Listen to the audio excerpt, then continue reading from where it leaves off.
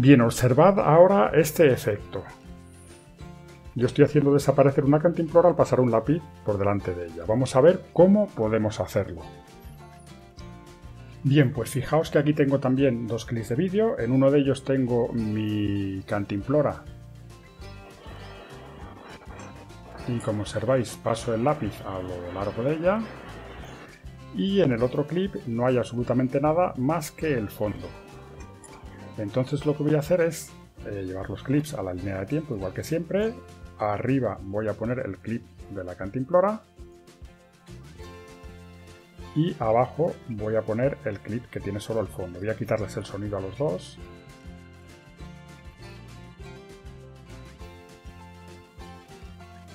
Bien, y una vez que lo tengo, lo que tengo que hacer es aplicar un efecto de rotoscopía al clip de arriba, pero va a tener que ser un efecto de rotoscopía animado, de manera que la cantimplora vaya desapareciendo según va bajando el lápiz.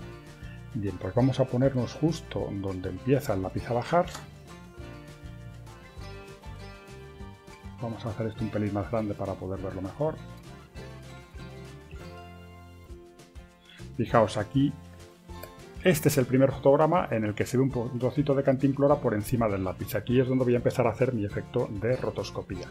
Vamos a venir aquí a rotoscopía, doble clic, perdón, nos ponemos en el primero en el clic en la que la quiero hacer, que es este lo selecciono, doble clic, aquí tengo y lo que voy a hacer es trabajar igual que hacíamos con el efecto de transformación con fotogramas clave.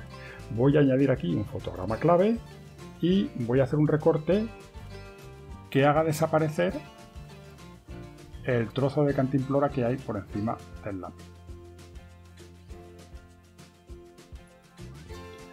Como siempre hay que invertir y bien, aquí lo tengo.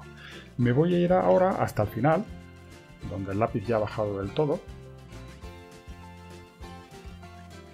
Aquí lo tengo, ahí ya lo he soltado. Aquí. Voy a añadir aquí otro fotograma clave y voy eh, a hacer el efecto de rotoscopía de manera que desaparezca todo eh, la cantimplora que hay por encima del lápiz y además voy a traérmelo para acá para hacer desaparecer la sombra que hace la cantimplora en el suelo.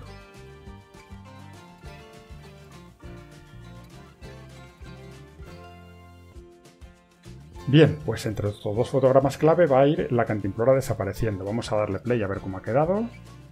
Observad cómo él va animando el efecto, pero no ha quedado eh, como yo quiero todavía. Voy a tener que añadir más fotogramas clave entre medias. Vamos a ir de nuevo al principio. Aquí es donde empieza mi, mi rotoscopía. Fijaos como al principio yo voy bajando el lápiz más deprisa. Vamos a venir, por ejemplo, hasta aquí. Voy a añadir aquí otro fotograma clave y voy a poner aquí como yo querría que estuviese mi efecto. a bajar esto. Aquí lo tengo y vamos a probar otra vez. Bien, fijaos cómo por aquí la cantimplora se ve por la parte izquierda de la imagen. Lo que voy a hacer es irme al primer fotograma clave y vamos a llevarnos esto más para allá para evitarnos este problema. Vamos a darle a play.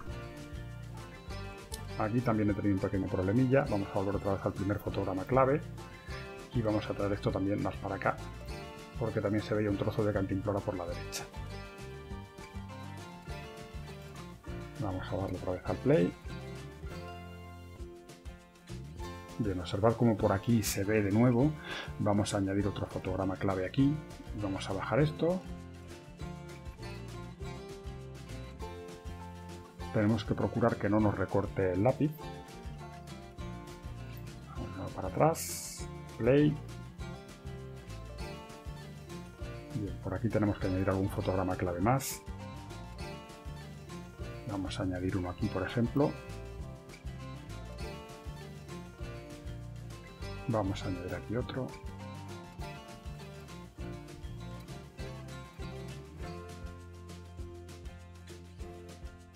Bien, vamos a volver al principio y voy a ir con la flecha izquierda moviéndome a lo largo del clip a ver en dónde tengo que corregir algo. Fijaos como aquí el lápiz se ve, se deja de ver. Voy a añadir otro fotograma clave y vamos a echar esto para arriba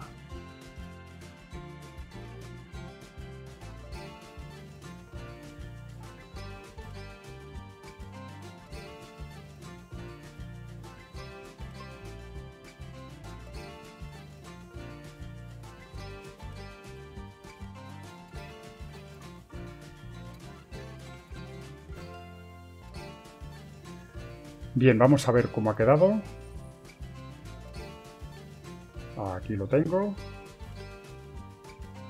Bien, el único defecto que tiene esto es que se nota aquí, en esta esquina, la sombra que hace eh, la cantimplora que efectivamente está aquí. Eh, esto sería cuestión de ir poniendo más puntos en nuestro efecto de rotoscopía para quitarlo y verlo de abajo. Y hay otro defecto, que si veis, entre un clip y otro la cámara se ha movido un poco y está un poquito más abajo, el clip inferior, este, este, fondo blanco está un poquito más bajo que el superior. Lo podemos corregir esto con un efecto de transformación. Vamos a venir al clip de abajo, vamos a aplicarle un efecto de transformación y lo que vamos a hacer es, vamos a hacer un poquito más grande para poder verlo bien, subirlo hasta que esté al mismo nivel que el clip de arriba. Ahí estaría. Bien, pues de esta forma lo tendría ya terminado.